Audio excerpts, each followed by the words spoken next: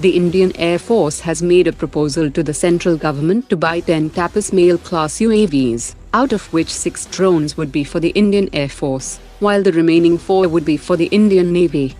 An Indian Air Force contingent has arrived in Egypt to take part in the fourth edition of HOPEX joint exercise with the Egyptian Air Force from 21 June to 26 June. Experts have said that India's nuclear stockpile has increased mainly due to the MIRV-capable Agni 5 Mark II missile and the expansion of the nuclear ballistic missile submarine fleet. Boeing has unveiled its innovative revolver launcher system for C-17 aircraft that will allow rapid launch of 12 Boeing X-51A Wave Rider hypersonic cruise missiles. Keltron has secured a significant order worth 97 crore rupees from the Indian Navy for the manufacturing of various critical defense electronics equipment for the Navy's underwater operations.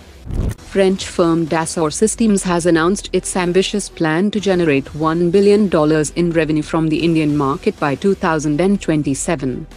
Pictures of the new Chinese lightweight battle tank has emerged on social media that has recently started trials.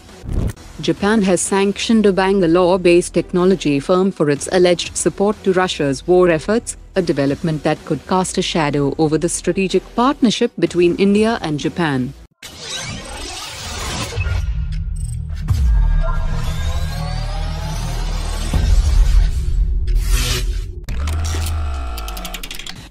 After the successful development of the land-based long-range land attack cruise missile, the Aeronautical Development Establishment has started development of a ship-launched version of the LRLACM, and it will start testing within the next 12 months.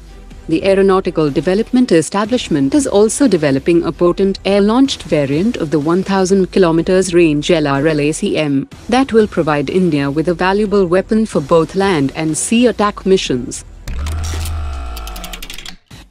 Latest satellite images have revealed a new massive construction facility near the Cochin shipyard that is dedicated for building the next generation S-5 class 13,000-ton nuclear-powered ballistic missile submarines. The facility boasts the capacity for simultaneous production of three S-5 class SSBNs before they are moved to an outer dry dock area for final assembly. Mazagon Dock Shipbuilders is in advanced talks to build three additional Kalvari-class submarines for the Navy under a 35,000 crore rupees deal. Officials have said that the three submarines will be larger than their predecessor and will be packed with advanced electronics and propulsion that will give them better strength and longer endurance.